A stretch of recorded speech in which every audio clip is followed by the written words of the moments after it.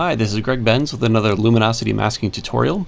In this demo, I want to show you how you can take an image that looks like this, this uh, highly contrasty image of Antelope Canyon in Arizona, and turn it into this final image here, which has a lot more uh, intrigue and interest, and we've brought in the highlights and shadows to create a much more balanced image. And we're going to do this using luminosity mask in Photoshop, but uh, the journey starts in Lightroom. So here's the original raw exposure. Obviously, uh, the top of the canyon here is really blown out, and the foreground shadowed rock um, is, is pretty close to black, so huge range of contrast.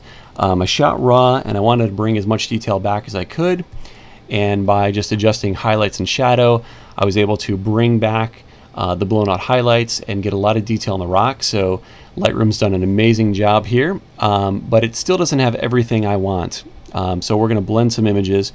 Um, I did make a couple of other adjustments here. I added a little clarity and vibrance um, as well as adjusting uh, my noise reduction and removing chromatic aberration. So typical adjustments that I would make in Lightroom before I start to blend the images with luminosity masks.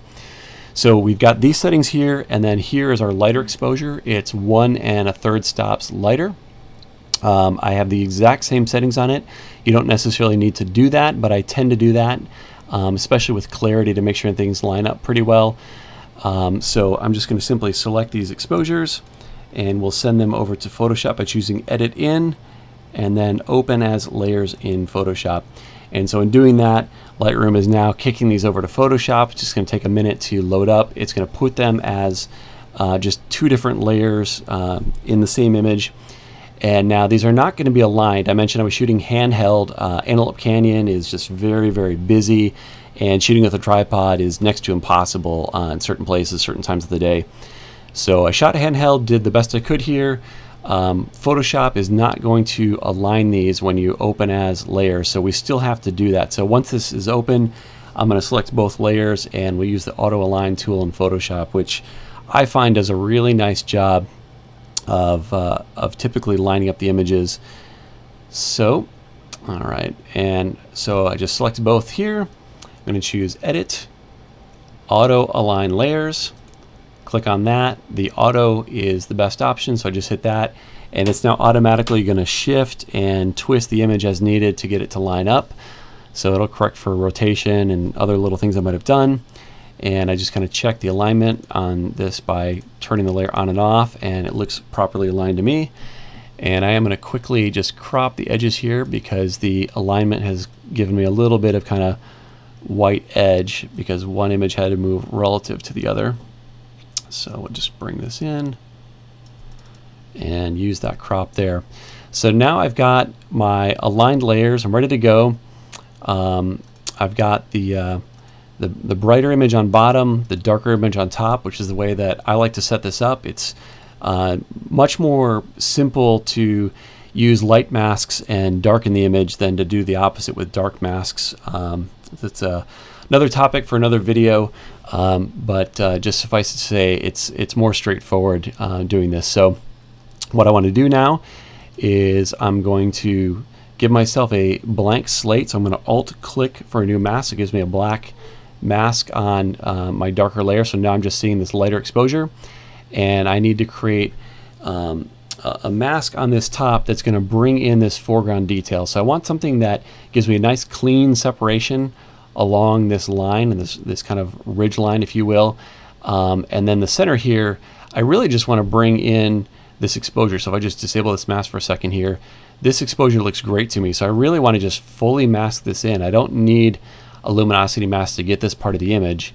But where I do want a luminosity mask is to help me get a nice transition between these two exposures. So I'm going to have a fully selected area in the middle and sort of a transition zone haloing around it when I'm done with my masking. So uh, first, we'll just find a lights mask that gives us a good separation. So if I just pick a, uh, a lights mask, I'm going to disable this top here. I want a mask from the original, which is more kind of, um, actually, we'll try and we'll try and just mask from this brighter image here. Um, so with the, the lights mask, the uh, shadowed area of the rocks are being selected, and that's going to be a problem. I really want to create a nice separation between these two areas of the rock. So go to the next level, choose a lights 2, and here I see a nice separation. It's pretty much just pure black up above with a nice selection uh, in the transition zones here. Um, not as cleanly selected on the left edge here, but that shouldn't be a problem. We can deal with that. But on the top here, which is really the critical detail, um, there's a very good selection we can work with. So I'm going to just load that as a selection. And I'm using my Lumenzia panel to do this, but you could do this with my, my free channel-based actions as well. So that would have just been the uh, lights 2 uh, channel you would have loaded there as a selection. We can see the marching ant, so we've got our selection loaded. I'm just going to hit uh, Command H to hide those and re-enable the masks here. So we've got a selection that's loaded but hidden and we're ready to start painting. So I'm going to load up uh, the brush tool and load up my default paints, uh, just hitting D for default black and white and X to swap white to the foreground. So when I start painting now, it's going to use the luminosity mask, that lights mask, to guide what I'm doing. And if I hit the Q key, I can see my, uh, my quick mask here where it's shining through a little bit more is where it's going to paint. And I like to think of this sort of masking um, with luminosity masks as sort of like um, bowling with bumpers. Um, not sure if that translates outside the US, but uh, imagine uh, going to a bowling alley um, and when the kids play, you uh, put a huge balloon in the gutter so it's impossible to uh, go out of the intended area. And that's really what luminosity masks are going to do for us here is it's going to give us um, a nice solid guide so I can only paint where I want to put the paint here. So I don't have to go in and get really fancy with the mask. The luminosity masks are going to do exactly what I need. So, all right, so I'm going to load up larger brush here and just start to paint. And I'm going to undo that because I was actually painting on the actual pixels. So make sure you're painting on your mask and I can just start painting in here. I'm going to turn up the flow rate to about 10% to work a little more quickly. And we can see that already it's starting to bring back uh, a nice bit of detail in the top of this image. Now I can go over this a few different times and the original luminosity mask um, had you know areas that were more selected than others. If I just keep painting over the same area, then ultimately I'm moving all the pixels that weren't black towards white and we can see the actual mask I'm creating here as I paint. So this is kind of that bowling with bumpers idea. You can see I'm only painting in the areas that were selected by lights 2. and as I hit things a couple times it starts to lighten up a little bit more so I can really hit this edge here and build a nice selection. Now I am starting to see a little bit of a selection on the inside here so I don't really want to go too far up there. I'm going to back off a little bit and I'm going to use my brush again but I'm just going to be a little bit more careful and I could just paint black up there to get rid of that if I want to. So we're going to get this to a pretty good point here um, just knowing that we're just trying to create separation here. It's not going to look exactly the way we want just yet um, because we're you know, we're ultimately destroying some contrast by darkening the lightest areas, but leaving the dark areas alone. So um, that's kind of compressing the highlights into the shadows. I'm going to get rid of my mask by hitting Command D, switch to black, and I do want to just quickly touch up that little edge there. Probably doesn't matter, but I'm just being a little bit of a perfectionist. So we've got this nice separation in the mask, and we can see here as we turn this layer on and off that we've really brought down uh, you know the top of this image here and already things look a lot better than they did. But it's it's a little flat in here for my taste um, and it doesn't quite look natural to me. So what I'm gonna do is now that I've got a good edge um, I just need to now stay within this edge. So as long as I'm painting down here everything I'm doing is safe and not adjusting up above. So I'm just gonna load up white paint with no uh, no luminosity mask at all and just start to manually brush in these areas. I'm going to turn down the opacity a little bit. It's going to slow me down, or sorry, the flow rate. Uh, it's going to slow me down a little bit, but um, you know, subtlety is important here. You don't want to go too fast. Um, and if I wasn't doing this for a demo, I would turn it down even more, be a little bit more precise. Um, but uh, you can already see that uh, bringing in the rest of this darker exposure has given me better contrast, which I was losing in that original step. And if we turn, just take a look at our mask here, we can see that all this area here is really kind of fully selected.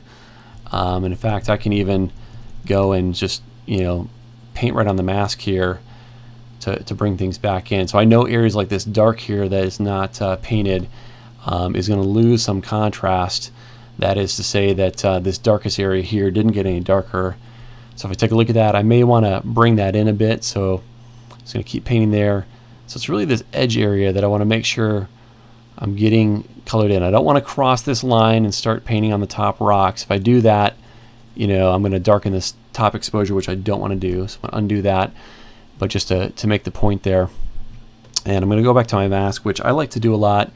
If I know that an area should just be fully painted in, then I will just tend to uh, paint right on the mask. For me, it's easier to see what's going on. Sometimes when you look at the finished image, it might look great, um, but your eyes can deceive you a little bit and you can get a better result sometimes by just simply turning on the mask and painting there. So let's see how this edge looks on the right.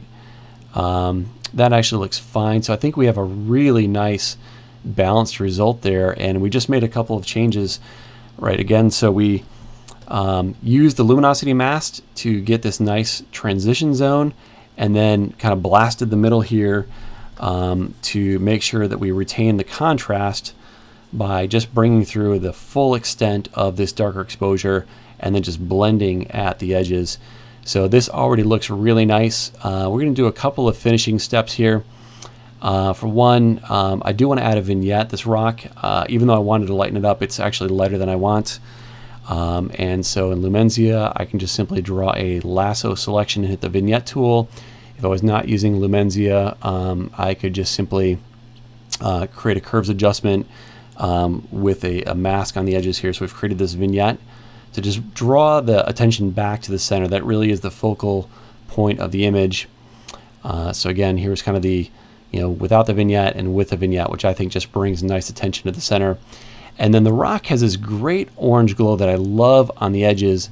And the rock in the center is just a little bit more bleached out just based on the way the light was reflecting. And I'd love to bring some of this color over here.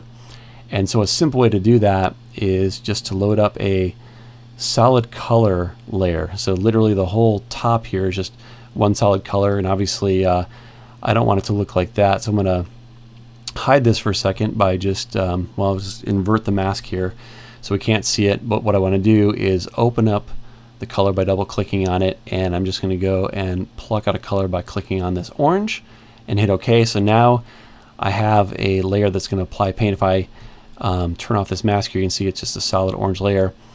And I'm going to bring this paint here.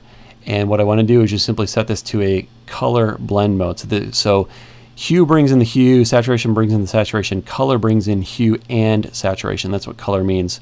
So when I do this, I'm now using an orange color wherever I paint. So we're going to paint that orange color here. So I just load up my brush again. And I've got a pretty uh, moderate flow um, and I can see immediately that's actually way too much so I'm going to drop this all the way down to its lowest setting uh, again I just want some more subtlety and that's even almost a little bit too fast I'm actually going to lower the opacity I, I really want to be subtle so we'll build it up with a few brush strokes um, but I'm just going to go and adjust the brush a little bit kind of freehand gauging where I want to be here um, and that looks pretty good to me. So that little adjustment took you know this bleached out rock and added this color. It's very subtle, but I think it's a nice, uh, nice little transition. And I'm just going to make sure I've fully got it. I can see a few little areas here that could be a little more balanced. So I do like to go and use the before and after quite a bit when I'm painting to make sure that I didn't miss something. So at this point, I'd say the image is uh, pretty well done. I could uh, do some more adjustments to contrast if I want to make a little pop, some other things like that. But the image looks great to me. And so, you know, again, we went from this original image that was blown out and then used our luminosity mask to blend in a darker exposure and then just colored and did this vignette. So um, nice, quick and easy transition. Um, and uh, that's how I oftentimes blend multiple exposures using uh, Lumenzia